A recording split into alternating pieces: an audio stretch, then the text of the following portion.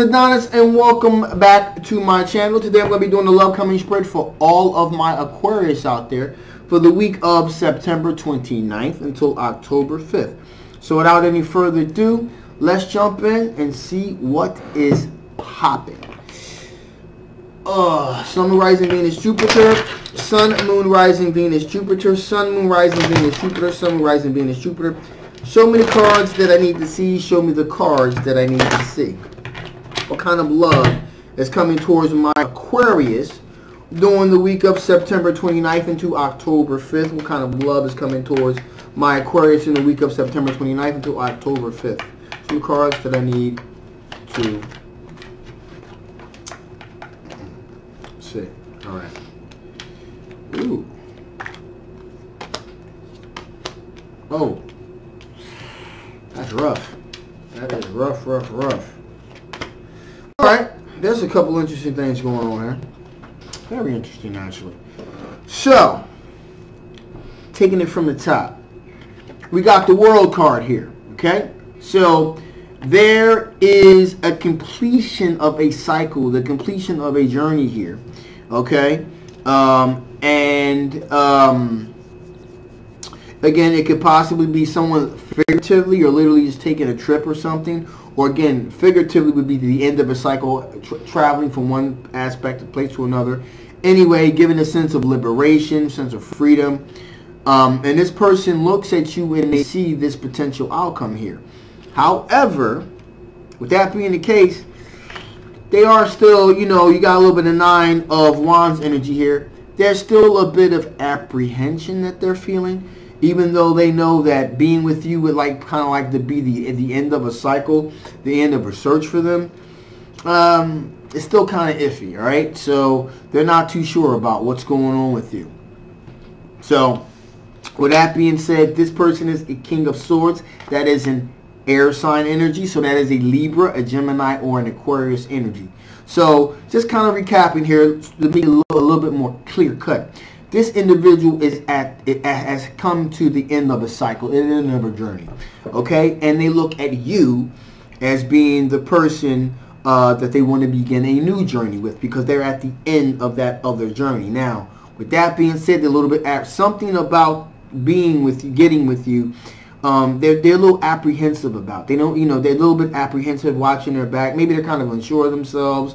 So that's pretty much what's going on with that individual. Okay, now with that being said, we have another, uh, and I think the more interesting air sign individual, which is the Knight of Swords. Okay, again, it is a Libra, a Gemini, or an Aquarius. Now this energy is interesting because this person, again, this is the person usually is the loudest, you know, uh, kind of speaks, kind of uh, speaks before they think, so to, so to speak. So that's what's going on with this individual.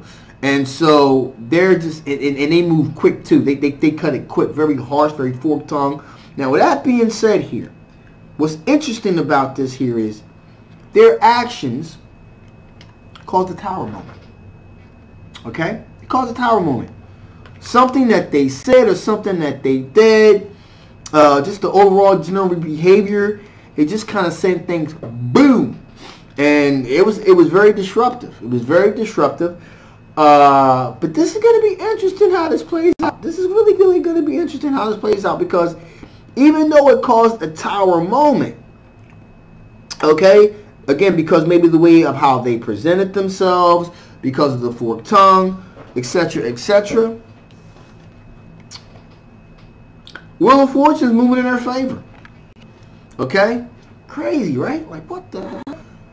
Wheel of Fortune is moving in their favor. In addition, we got the Eight of Wands here. So there's a lot of information, a lot of text information, uh, social media. There's a lot of information being sent back and forth. Um, and, you know, they're just kind of waiting for their ships to come in. All right? Now, in, uh, in addition, you got the chariot card here. They've taken control of the situation. They've asserted themselves, take control of the situation. So let's just let's break this bad boy down. Okay, so here's the thing about this particular situation. What I'm feeling and what it looks like to me. this person said something that was probably true, all right? But they said it in a kind of a fucked up way. And it kind of said, boom, okay, kind of blew up the whole situation, all right? Maybe um, you you know uh, you were talking to someone else or mess with someone else, something like that, and they they spoke some truth, but it was in a really kind of harsh way, and it blew things up.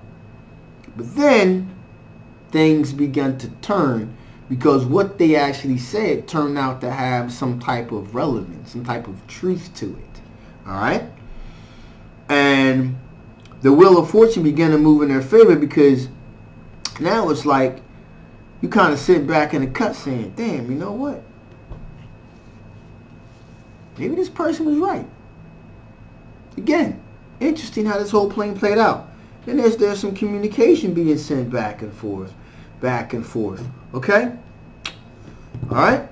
And, you know, they're kind of waiting for their ships to come in because whereas though this person, you pretty much is like, you son, get out of here. All of a sudden now it turns out that this individual is coming back into play again. You know, rethinking about really cre- uh, uh, creating something with this individual has really become palpable again. And again, Chariot person is pretty much uh, uh, uh, taking control of the situation, steering in the direction that they wanted to go in. So, you know, just because the Knight of Swords sometimes can be very, um, very forked tongue, you know, don't necessarily mean that they're wrong. Okay, they, they, sometimes they just don't know how to present themselves uh, properly, uh, you know, or or, or or or diplomatically. But you know, sometimes sometimes things just need saying. And sometimes the best way, the most uh, politically correct way to put something is just sometimes just to say it, you know? And so that's pretty much what seems to be the thing that happened here. Uh, some, uh, you know, uh, uh, uh you know, that's that's pretty much what happened. This person just said what was on their mind, and bang. So that's what happened here. So, with that being said, let's see what kind of strengths you're going to be working with during the 29th, during the, the 29th to October 5th. What kind of strengths are you going to be dealing with during the week of um, September 29th to October 5th? What kind of strengths are you going to be dealing with?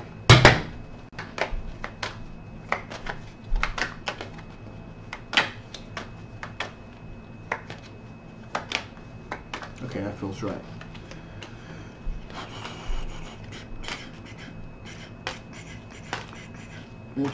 Interesting, interesting. Ooh. Okay, so we got the star card. Okay?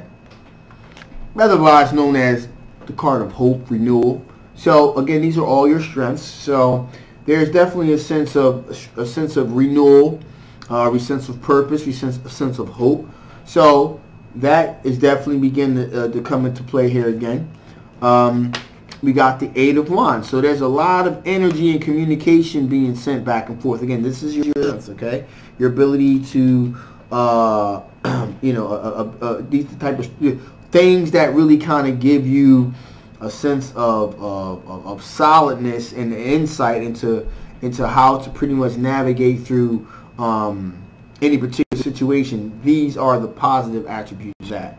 So with that being said here, also we got the Seven of Swords. So uh, you recognize sneaky behavior when you see or you least you do now because that also probably this individual with this Knight of Swords probably most likely probably said something uh, uh, along the lines of probably told you maybe you were being cheated on or being lied to um, and didn't really think about, you know, this kind of said it and it kind of caused a whole bunch of drama, but um, it was what you needed because um, it kind of opened things wide open here. Okay? Uh, and in addition here, you got the Two of Wands here, so you do have choices. You recognize the choices that you had. In addition here, you got the Hangman, so you're not afraid to put the brakes on something if that's what it takes. Um, also, we got the Four of Pentacles here, which is a short success. So at this point, um, the, at this stage of the situation, you're pretty assured that you know what you know. Now, you experienced this Ten of Swords energy here, stabbing in the back, probably had something very much to do with that tower moment that happened. Okay? I'm feeling it. I'm seeing it. I'm stating my claim. It has something very much to do with that tower moment. Absolutely. Um, and that air sign individual just kind of put it out there and like bam, and then it just kind of everything kind of settled. When the smoke began to clear, turns out they knew what they were talking about. We also we got the Ten of Cups here, which says that hey, you're open to a family long-term situation, so you're definitely in the market for that. And finally here we have the Hermit, which is a lot of self-reflecting and soul searching. You know, so you've done a lot of that, especially because of the Tower situation and also the Ten of Swords situation that happened. It kind of, you know, you have a new sense of perspective on things. So what particular um, things from your past could possibly affect the outcome of this situation? What particular things from your past could possibly affect the outcome of this particular situation?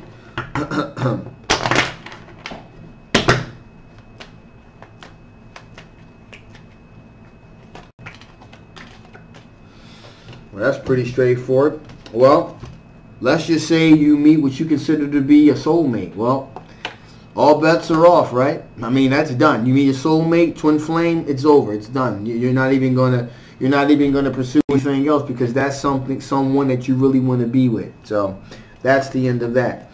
Second of all, here we talk that we have the Page of Pentacles here. So Page of Pentacles again, really communicating really specifically. Um, very strategic in how things are being put. Um, and again, that's probably what you did in the past here. And it turned out that, you know, um, maybe things didn't kind of, the ball didn't bounce the way that you thought thought it was going to. That, that therefore, um, you know, you're especially with this Knight of Swords energy here, uh, it, it kind of like you know being really careful about how you word things making sure they don't be they get taken out of context, um, you're you're probably going to begin to rethink that. You know, um, you know, be because of what happened. Um, so you're pretty much going to probably probably begin to move on over onto the maybe the Knight of uh, Knight of Swords energy yourself and pretty much kind of say what's on your mind. Um, you know, it, it's just it's just how things work. You know, if you're if you're in a situation and and you're being really careful and really uh, diplomatic about how you put things and you find out you're on the short end of the stick anyway, you're going to change the way you approach it. And finally, we have the Queen of Pentacles here, which tells me that, you know, uh, you want to be with somebody that's really down to earth and really makes good uh, decisions when it comes to finances and things of that nature. And if you run across a situation where that turns out to be an issue, you're gonna be like, bounce, get out of here. You, you know, you're not trying to pay nobody else's bills. And so that's pretty much what's going on here. So that being said, let's see what additional information spirits want to bestow upon you. What additional information spirits want to bestow upon you before I shut the thing down here.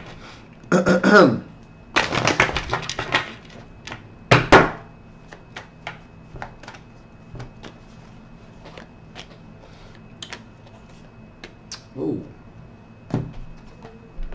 straight from the door.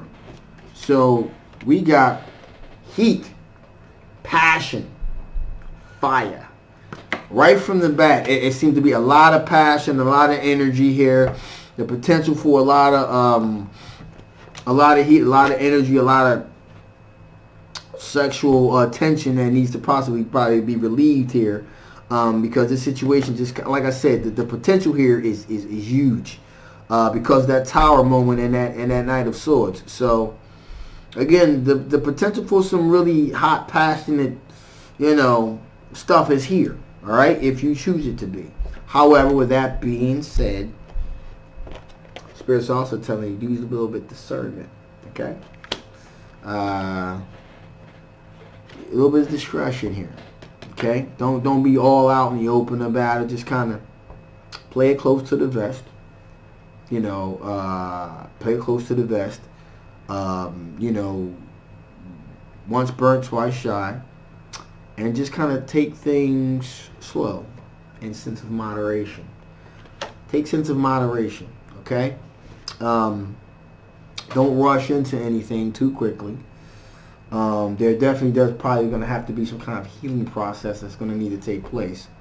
Uh, but just kind of take it slow and, and, and, do it in a sense of moderation. You know, don't don't go too crazy with it. But with all that being said, the potential for a hot passion situation does exist.